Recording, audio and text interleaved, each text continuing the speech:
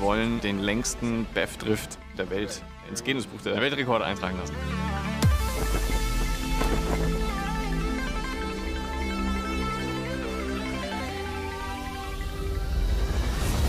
Es hat tatsächlich ja noch niemand mit einem Batteriefahrzeug ähm, so einen Versuch gestartet. Das heißt, jetzt heute, äh, heute geht es wirklich darum, ähm, hält das Auto, was es verspricht? Ähm, ist es wirklich ähm, das sportlichste äh, Batteriefahrzeug?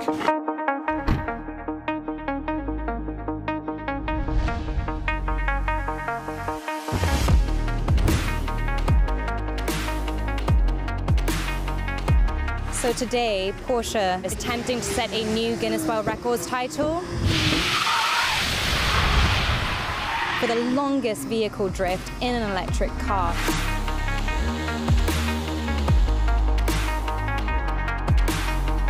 Okay.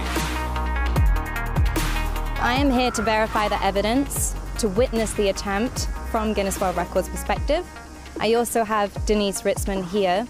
She is a vehicle and drifting expert, giving me her very professional opinion. She's a very accomplished driver.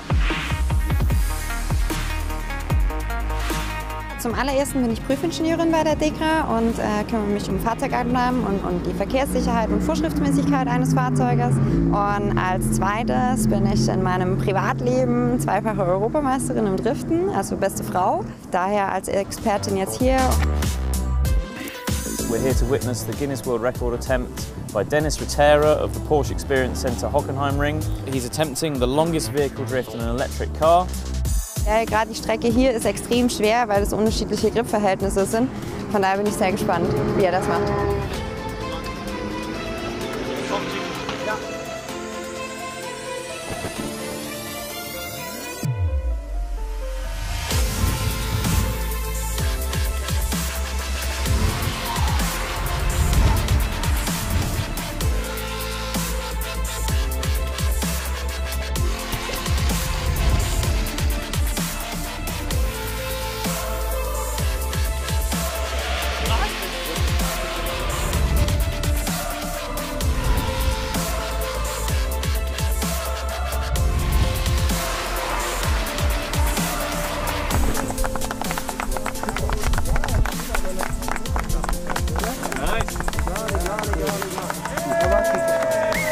Cool. The thing is, you try to get the car sideways. You can do it by using a lot of power because it's a rear-wheel driven car. Um, but we try to be as efficient as possible. So I'm using really the load chains first to the front, turn in, use a bit of power to get it sideways, and then be really efficient. Even if I had a big angle, I just lifted off the power bit, and the car just saved me.